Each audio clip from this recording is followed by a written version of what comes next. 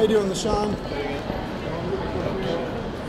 Who's the biggest star in Philly, Will Smith or Rocky? Man, that's a tough one, man.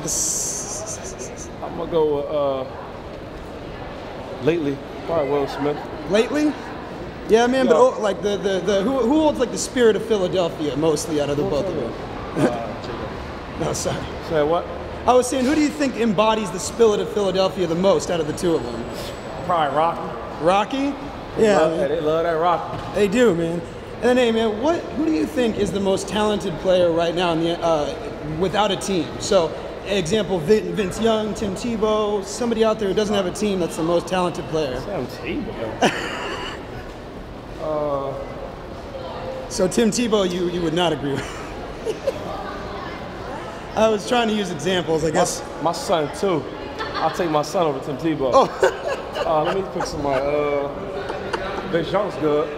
Uh, Chris Johnson, probably. Chris Johnson. Chris Johnson. Okay, all right. And then um, I like Vince Young. I agree with too. And you know what? Speaking of your son, you think like is is he he gonna be a baller? You think he'll be? be I mean, like what, what are you predicting for him already? First first round, first first overall pick, second. Man, I really don't want him to play. You don't even want him to play? It's his decision. Oh, okay. Oh, I got you. you, you you'd be proud of him if he did, but if he doesn't, you don't mind. Oh no, no. All right. And then, man, I also, you know, I'll ask you one more question and let you get going here. What would you say, like, what, what's the most expensive piece of jewelry you ever bought? I know it's personal, you can, but I, but I'm curious, man. Man.